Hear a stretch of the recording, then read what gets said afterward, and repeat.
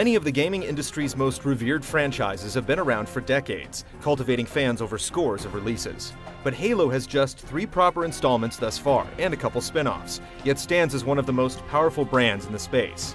How did Bungie do it? Was Halo always a first person shooter?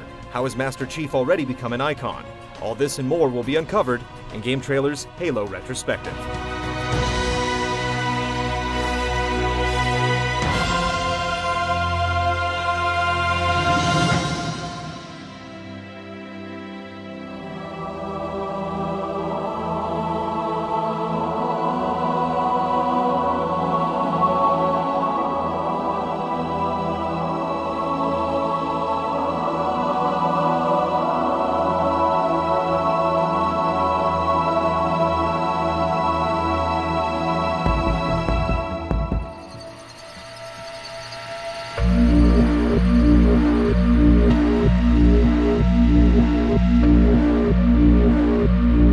Software Products Corporation was formed in 1991 by computer game enthusiast Alex Seropian to publish Operation Desert Storm, which sold a whopping 2,500 copies.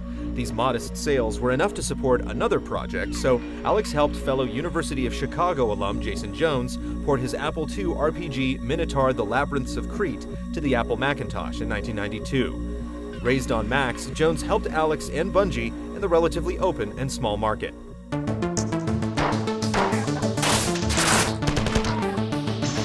Inspired by id Software's work in first-person shooters, they followed Minotaur with a special forces adventure game called Pathways into Darkness. Alex produced the promotional material, while Jones handled the programming and wrote the story and manual.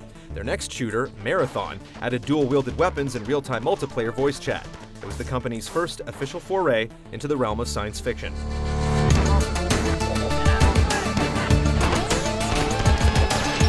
Marathon proved to have the endurance for a trilogy following the initial release in 1994 with Durandal in 95 and Infinity in 96. Each sequel was a straightforward update with experimental advancements like the ability to change allies and enemies throughout the story and a pleasant suite of multiplayer modes. Infinity also came with applications used by Bungie to modify the game's resources, including levels, physics, sounds, and graphics, called Anvil and Forge.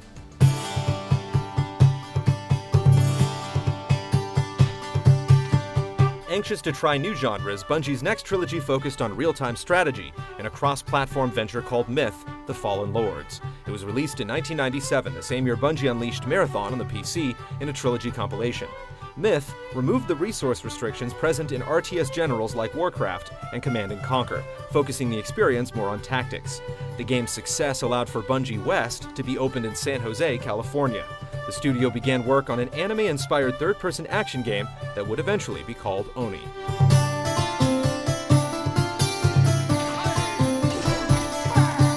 Myth 2 Soulblighter arrived in November of 1998. It was ported to Linux, received positive reviews, but ended up cursing Bungie in foreign markets. Asian versions of Myth 2 would wipe out a player's hard drive, a snafu that cost Bungie more than a million dollars. Approaching the turn of the century, and in the wake of a financial disaster, Bungie knew it needed a blockbuster. It drafted a whole new galaxy of lore and began another shooter project, codenamed Monkey Nuts.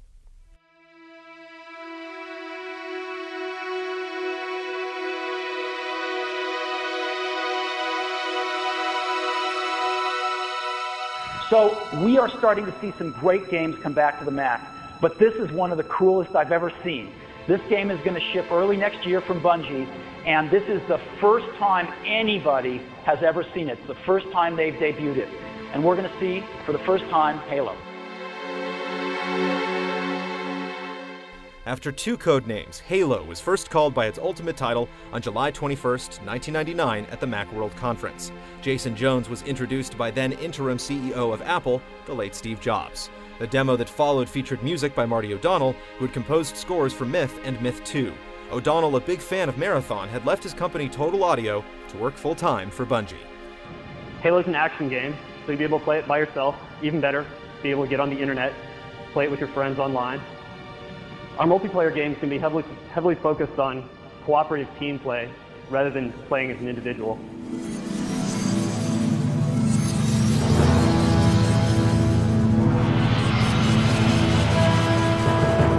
Everything at Macworld was rendered in real time on a Macintosh using OpenGL. The demo representing Halo's alpha state showed most of the vehicles available in the final game. Jobs said the shooter would ship early next year, but Bungie's future and fortune would take them in another direction. Either to cover their losses from Myth 2 or to realize their dreams of a larger than life multiplayer experience, Bungie was soon acquired by Microsoft. It was a unanimous decision within the company. Myth 3 and Bungie West's Oni were transferred to Take Two Interactive, and Halo moved to a Windows and DirectX console project that had been in the works since 1998. The company also shortened its name to Bungie Studios.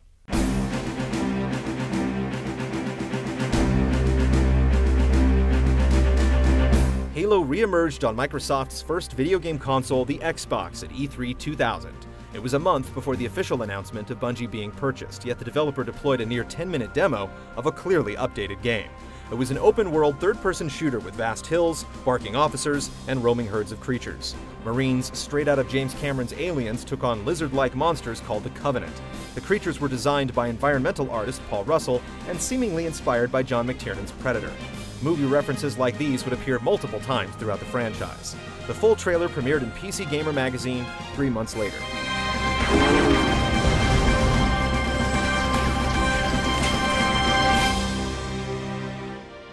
The first thing to change after Bungie's acquisition went public was the game's perspective to first person.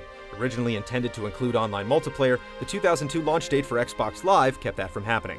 Of the 14 games on display at Gamestock in 2001, Halo was unquestionably the most anticipated, showcasing a flyby of the island map silent cartographer. Halo returned to E3 in 2001, where it was announced as an Xbox launch game for November of that year.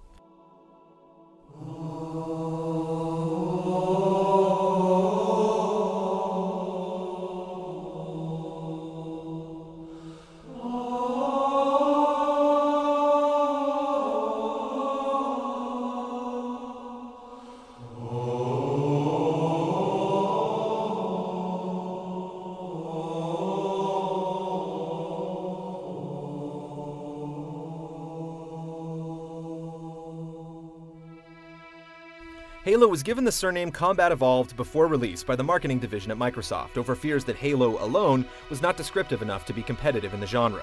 Both single and multiplayer modes put the player in command of a Spartan II, an elite biologically engineered soldier able to wield both Marine and Covenant weaponry.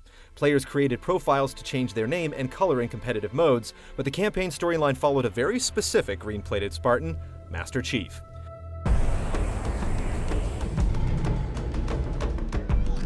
Those Marines could use some help, Chief. Do what you do best.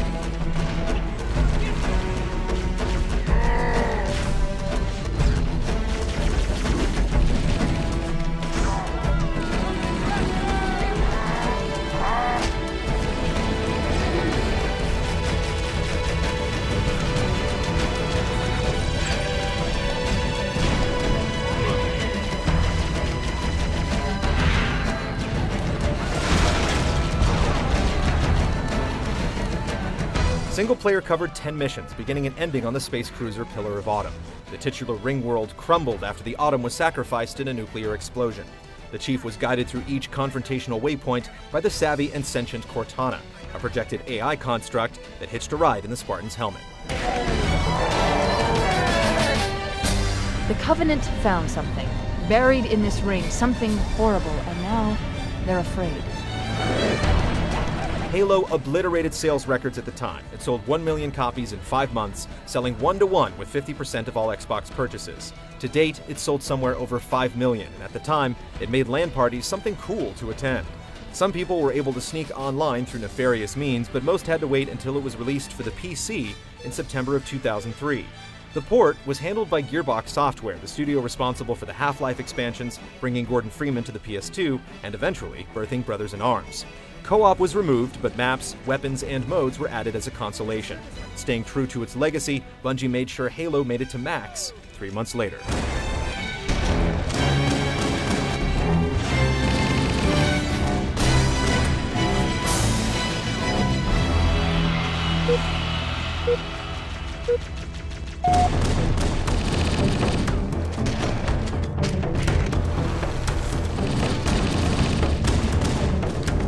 Halo sales were no match for Halo's community, which continued playing the game non-stop after release. A custom edition in 2004 brought an editing kit to the masses, similar to Bungie's earlier Marathon mod builder, and a new PC community exploded. Halo's success was felt across the entire industry, and the anticipation for a sequel announcement didn't take long to build. Halo was not originally designed as a trilogy, but the first chapter finished with a cliffhanger that could easily blossom into a three-part chronicle of Master Chief versus the universe. Before Halo made a slipspace jump to the PC, Halo 2 was debuted at E3 in 02. It would be playable at E3 in 2003. So we're going to show you Halo 2 today. Uh, this is a... I'm actually going to be playing it as best I can. Um, but before we start, I just need to go over some safety regulations in case of uh, fire or electrical storm or earthquake or something like that. Just be sure that you guys are safe. Know it, son! These folks didn't wait in line to hear your lips flippity flap. Knuckle up and get ready to dance, you pasty bastard! Yes, sir, Sergeant. What you good people are about to see is an operation in progress. This is a real-time feed. No smoke and mirrors pre-recorded bullshit.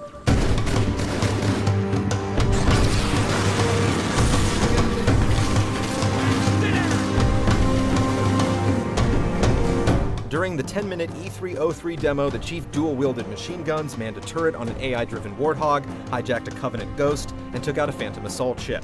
Minds were collectively blown. The experience seemed primed to overtake the original, but once the party was over, Bungie realized it just had a demo and not a piece of the final product. The bar it set with the 2002 announcement trailer was proving to be unrealistic, and something had to give.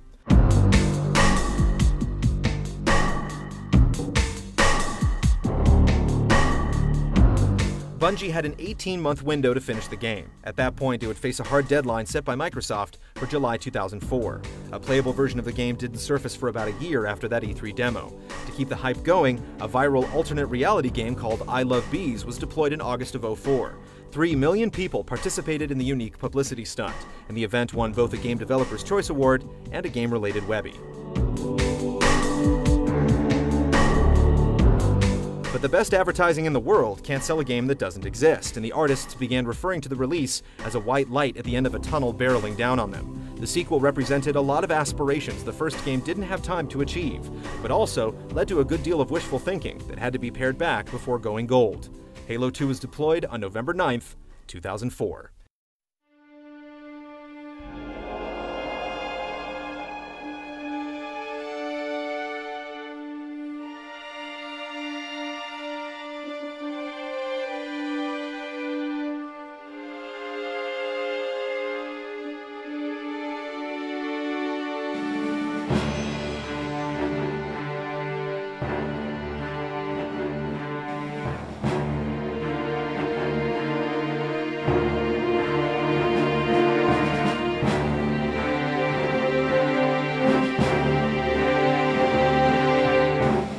Halo 2 saw the original's 10 playable levels and raised it to 14. It introduced dozens of characters from both sides of the conflict, fleshing out the cast with voice actors like Keith David, Orlando Jones, David Cross, Michelle Rodriguez, and Ron Perlman. It extended past the reach of Master Chief by allowing players to occasionally take control of the Arbiter, a Covenant castaway punished for his failure to stop the destruction of the first game's sacred ring. The sequel embraced Xbox Live online multiplayer, and on top of providing new maps, weapons, and modes, it gave some arenas from Halo 1 an updated look.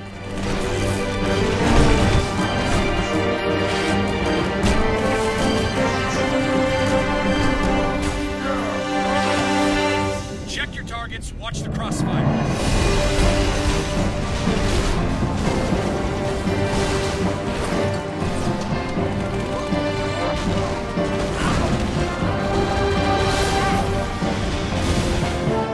Halo 2 is the best selling game for the Xbox, with over 6 million copies sold in the US, reaching over 500 million multiplayer games finished, and over 710 million hours logged in the first two years. A platinum colored collector's edition was sold in addition to the standard box, boasting documentary footage and more packed in backstory from the Covenant side of the struggle. The reviews for Halo 2 were mostly favorable, with much of the praise coming from those addicted to the meaty multiplayer. The extent of the criticisms came from performance hiccups when loading some of the cinemas and the general abruptness of the story's finale. Master Chief, you mind telling me what you're doing on that ship? Sir, finishing this fight.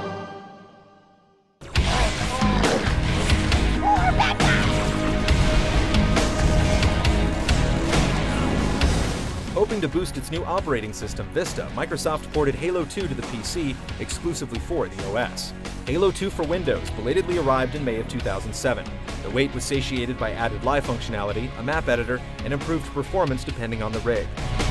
The graphics bump was a moot point for some, as before Halo 2 shipped for the PC, Microsoft announced Halo 3. Game